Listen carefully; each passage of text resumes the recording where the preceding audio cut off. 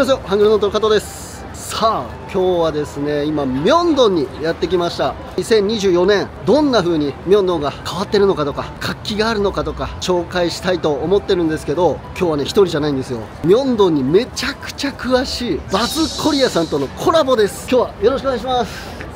お願いします。お願いしお願いします。いやもう今日はお声いただきありがとうございます。ありがとうございます。もう今日はね一緒にミョンドンを回りたいと思います。お願いします。で今日もう初対面なんですよね。まだ会って数秒なんでまだねちょっとお互いのことまだ分かってない部分あると思うんでそうぎこちないと思うんでここからちょっとね話しながらちょっとお互いのこと知りながら、はい。皆さんにミョンドンの街紹介したいと思います、はい。それでは行きましょうえもうミョンドンにはもうめちゃくちゃ来てますよね。めちゃくちゃミョンドン紹介されてますもんね。結構来てますね。コロナ前も来たりとか、コロナ前も？はい来てたので。えもうどれぐらい通われてるんですか？あーでも私がもう韓国にハマったのがはい。10年以上前なので。そうなんですね。あじゃあもう10年ぐらいは通ってますね。す。ごい。旦那さんがミョンはいドンを拠点に仕事をしたりとかして、あーなるほどうわーすごい。でやっぱり活気すごいですね。ミョンドンすごそうですね。本当に活気が溢れてて。すごい。う観光客の方がたくさんいるんですよですよね。じゃあちょっとメイン通りまず行きましょうか。韓国って言ったらはい私はもうコスメだと思ってるので、ああなるほど。いろんな専門店に行っていや僕逆にコスメのこと全くわからないんでぜひ教えていただきたいですねえミョンドンに来たら絶対立ち寄るコスメ店とかって何かあったりするんですか？私はもう個人的には好きなのがもうバニラコバニラ？ピンバニラコが好きなんですよ。あのクレンジングとあか。あはいはいはいはいはでめちゃくちゃ有名なバニラコっていうお店は必ず寄ったりとかはしますここですね。はい、へえこちらですねバニラコ。はい、これのクレンジングがいいんですか？すごく好きでへえもう何個もリピートして使ってるものです。そうなんですか。うわー。やっぱり他のとは違うんですか？そうですね。やっぱメイクの落ち方とかも違いあますし。メイクの落ち方が。いろんな肌質によはい。ってクレンジングが変わるんですよ、もう種類バニラコのクレンジングの種類があって。うわー。あめちゃくちゃありますね。オリジナルから。そうなんですよ。毛穴が気になる方とか、はい肌の人っていうかは緑が一番おすすめです。ええもう全然読めないんですけど ポポーラ？そうです。ポワポポワワってあのポワ？毛穴っていうああ感じで書いてるんですけどへえくすみとかが気になる人はこの一番右のオレンジのものおおあはい。くすみとか。は うわすげえめちゃくちゃあるのでそうなんです。確かに種類めちゃくちゃありますもんね。っていうかもう、まあ、この1店舗だけでもすごいあるじゃないですか。あのでさらに もうお店がすごいじゃないですか。それ勉強するの大変ですよね。ちょっとさすがにそろそろ勉強しなきゃなと思いつつも。ちょっとね手出すのがなかなか。ここに来ればはい。大体韓国コスメもうオリアンもありますし。あですよねうん。何でもあるのでね、もうそこに入り浸って入り浸ってますか？すごい。ミョンドンの魅力ってどういうところに感じてます？もう何でも揃うじゃないですか。何でも揃う韓国の要素っていうか、あー屋台もあれば、うん。もうこういうショッピングとかはいはいはい。できる場所もありますし、うん。もうなんか日本語もある程度通じるから通じますねなんかこう不安じゃないっていうか間違いない間違いないミョンドンの魅力かなっていう。もう初心者さんもやっぱ韓国を楽しめるうんところかなっていう、いや間違いないですね。で初心者こそやっぱりここでまず韓国を味わえるしでこんだけ屋台もたくさんあってでショッピングを楽しめる。はいやもうここに来ればまず間違いないですよね。本当にるじゃないですかどんどんそうあれここってこのお店なかったっけとか。僕動画で紹介したお店結構なくなってるんですよ。困っちゃうんですよね。動画って残るからさ。毎月来ててもなくなってる。毎月でもそう思うんですねすげえ。だってここも靴屋さんでしたよね確か昔。です。よね。結構比較的新しいここもあそうなんだ。ブランドなんへえすごっ。この最近まあ数ヶ月前なんですね。うわ今やっぱアーモンドとか人気じゃないですか。あこういうそうですね。本当だ。でミョンドンで、まあ、10年通ってて飽きてはないんですか？全然飽きないですね。うわー。すごい。でもほら途中にコロナがああーそっかそっか。確かに確かに。そうですよね。はい。楽しむしかなかった コロナの間はどうやってそういうなんていうんですかねフラストレーションというかミョンドンに行けないそのストレスをどう解消してたんですか？もう私はコスメを買うっていう。あもうインターネッイントでターネットで。もうじゃあもうずっとネットでこういろんな商品見て使って買ってみたいな。うわー。いやーやっぱり今中央に来たけどやっぱすごい人だし屋台も増えました？もう出てますねすごいうわ右も左も。本当にすごいよ。もう全然歩けない。歩けない。すごい。うわ好きな食べ物とかあるんですかこの屋台とかであ僕はやっぱりそうだな。ホットが美味しかったですね。はい。まあいろんな美味しいものたくさんあるんですけど。うん。結構屋台とかでも、うん。パフォーマンスがすごいお店とかもああありますね。ほ火がぼわーって上がってるやつとかあります。ありますすごいなと思いながらいつもうわ最近できたの、プルダックのおなんすかこれ。みたいな。えー、中に麺が入ってるんですよ。うわーマジですか。あそれ知らない。いやもうた食べるのが怖すぎますね めちゃくちゃ辛いっすよね。オリジナルの味だからまあまあオリジナルはやばいですね。僕昔今音声入っちゃうから完璧な偽物ってまた言われた。ミョンドン気をつけてくださいね皆さん。完璧な偽物売ってますよ。すごでもやっぱ価格は、はい。なんかこうミョンドン価格ですそうですね。ちょっと高めみたいな、はい。僕はもうあのこの価格のことをテーマパーク価格って呼んでるんでもうミョンドンはテーマパークなんで 皆さん高いとか言ってたらもう始まらないですよ。本当に。はい、もうディズニーランドのポップコーンと思っていただければ、はい、もうそれを楽しみに来てるんで、そうは有名だからいろんなところに。い、いやもうこれもう去年ぐらいからブームになったじゃないですか。うんいつまで続くと思います？結構なんか早く飽きちゃうかなと思けど意外と長くあるから。結構ありますよね。僕ももう去年あの異常なぐらいの人気を目の当たりにしてえここれいつまで続くの？みたいな。しかもどっちかというと昔からあったはあったじゃないですか。ありましたありましたですよね、で昔からあったものが急にこんだけブームになるっていうのがまたすごい不思議で。あバズコリアさんは両替ってどうしてます？あ私はもうあやっぱり。もうあそこが定番ですね。定番です。ですよね。僕も今さっき両替してきました。今さっき両替してきたところです。ミョンドン来たらあそこあるわって。もうあそこに行かないとせっかく行くならもう両替しなきゃ。本当に新年バージョンですね。今年辰年なんですよね。そうですね。ですよね。だからあー優雅わお父さんはそこまで出たの語学あそうですね。僕はあの2014年にワーキングホリデーでまず1年間住んでてでそこからもうずっと行ったり来たりで2020年コロナになってから語学留学。なので全く人のいないミョンドンを知ってますね。昼間でも夜でも人が本当にいないっていう YouTube とかでしかこう見れたああコロナはね。まさかミョンドンがこうなるとはみたいな。本当に悲惨な状況で。いやだから正直すごい嬉しいですもん。こんだけ人が溢れてしかもマスクなしでもうみんな観光しに来てるっていうのが本当に嬉しいです。なんかどの立場で物を言ってるのか分かんないですけど。ちょっとここ通りましょう。こっちに新しい店舗ができたんですよね。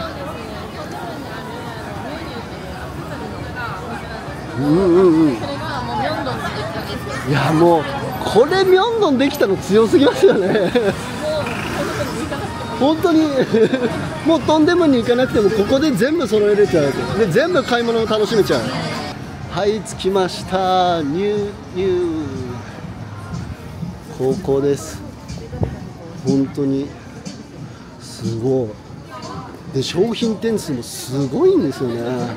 本当に。ああれですあれです。2階3階2階3階2月にオープンって書いてある。この広さで結構奥もありますもんね。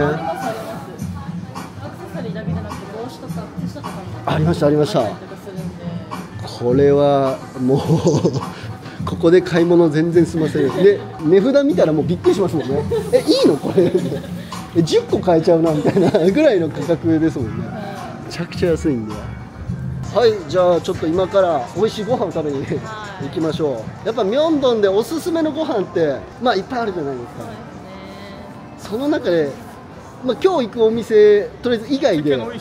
おすすめできるというかこれ美味しいなっていうなんかグルメありますミョンドンで。そうですね。結構もういろいろ食べてはきてるんですけど、はい。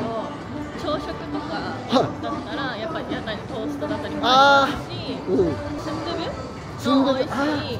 ゲジプンシクがはい。やあそこ美味ししいですよね。ミョンドンといえばの、はいあのミョンドン餃子。ああ間違いない。ミョンドン餃子は正直僕も来るたびに食べたいぐらいなんですけど めちゃくちゃ並んでるじゃないですか。並んでます並んでます。そういう時入れないんですよね。まあ違うのしよっかなと思って。で僕いつもここ前通ったら絶対見るのがあるんですよ。あ。風月がミョンドンにあって。うん韓国に住んでる時にやっぱり日本料理食べたくなったらここ来ちゃうんですよ。本当に美味しいんで。でさあ何人待ちだろう今？ウェイティングあでもちょっと今見えないですけど画面が35って見えますね。あ もうすごすぎ。ーめっちゃ待ってる。めちゃくちゃ待ってる。いやもうここ本当にあの風月入るの大変ですからねここ。本当に最近お土産買うのここ僕来たりするんですよね。ハーモニーフレッシュ。ここめちゃくちゃいろんなお土産が買えるんで。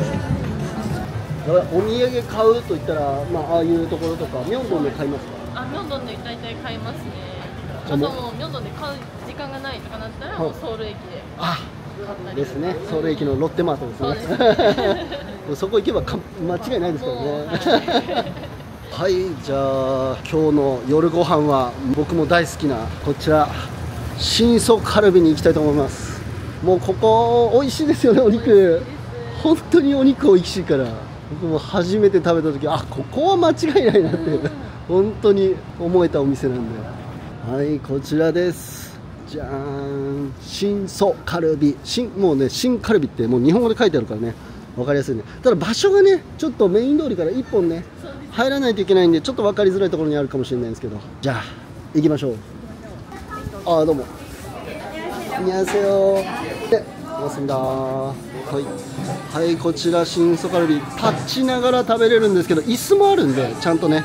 はい食べれます。じゃあいただきます。こんにちは久しぶり。いつからバズコリアさんを始めたの？始めたのは去年の6月。え、去年？インスタ、あ去年本当にめちゃくちゃ最速でフォロワーわーって伸びましたね。ものすごいですねそれは。もうやり方教えてほしいです。えでも何きっかけでやろうと思った？の？と韓国のそのローカルな食事というか、うん。まあお店をうん。紹介しようって思って始めたんですよね、最初は。うん。なんですけど、やっぱりそのあまり伸びがないないというか、あまりこう需要がないみたいな。やっぱり気になる人はすっごい気になるんですけどやっぱり多くの方に見てもらうとなるとちょっとやっぱりニッチになっちゃいますよね。で、ミョンドンにちょっと切り替えをして、やり始めたんですけど、ありがたいことにフォロワーさんがあの たくさん来てくださって。僕インスタグラムは2016年7年とかからやって何年目ですかね僕67年目で、ま、ようやく3万人いったぐらい。他の他の媒体がすごいいなやいやいやいや 全然全然。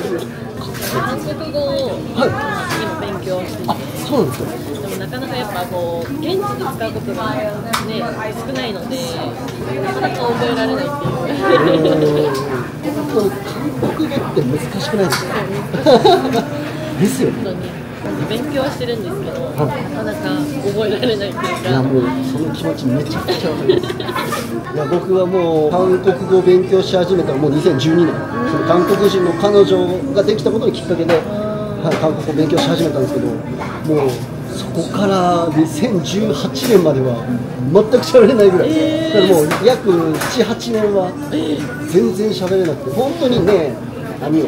何を？カムサハムダあチェサハムダぐらいで雰囲気でやりやり過ごしてた。じゃあもうぜひあの僕の本を読んでください、もうぜひもう買わせてい。ただきます、韓国語1年生というね本が出ますので皆さんぜひこれをね買って本当にあの韓国語初心者向けに超初心者向けに本を作ったんですけどいやもうマジで大変でした。マジで いやまずそもそも僕が韓国語能力そんなめめちゃくちゃ高いわけじゃないので。本当ですか？もうちょっとできる程度本当にあの一応語学堂っていうその学校6級卒業しましたけどあの点数ギリギリだったんで、えー、本当ですか？合格ギリギリで受かって6級卒業したレベルで全部を完璧には理解してないんですよ。まだまだわからないことあのもうたくさんあったりして。なのでそんな僕が初心者にどうやって教えるのみたいな。できるのみたいな。すごい悩んだんですけどただ声かけてくださった編集者の方がそれだからいいんですみたいなことをたくさんこう言ってくださってもうめちゃくちゃ気分を良くさせてるんですよ。だから気分よくかけました。大変だったんですけどもう本当にこういった感じの初心者の方にはめちゃくちゃ勉強になると思うのでぜひ読んでみてください。読んでみてくださいじゃあそろそろ食べましょうか、い、きますね。はい。こちら。そうカルビですね。ちょっとうまくうまく見せるああれや。ピントが合ってない。ピントが合ってないはいこちらでこれをねここにつけるんですよね、うん、こんな感じで。つけていただきます。うん。うまいめちゃくちゃうまい。これがこのニンニクめっちゃ効いてますね、いいニンニク好きにはたまらないですならずな柔らかいんですよね。ね本当にこのお肉止まらなくなるぐらい食べれちゃうんですよねはい。じゃあごちそうさまでした。今全部いただいちゃいました。もうお腹いっぱいになりましたね。めっちゃ美味しかったです。ありがとうございます。で今日はねコリアさんに出演していただいて本当にありがとうございます。ありがとうございます。本当にロンドンにね行く方はぜひバズコリアさんインスタグラムあと TikTok やられてて。そうですねはい、ぜひ皆さん見てみてください。チェックしてみてください、はい。ありがとうございます。と、はいちょっとお土産というか。すいません。わざわざすいませんラグーンにある、あの本日社さんはい。はい。はい。はい、このお菓子というかおつまみにもなる。はいの上にアーモンドが挟まっててすごく美味しい。ので、えーぜひおつまみにも良さそうなあすごい。大丈夫したすごい。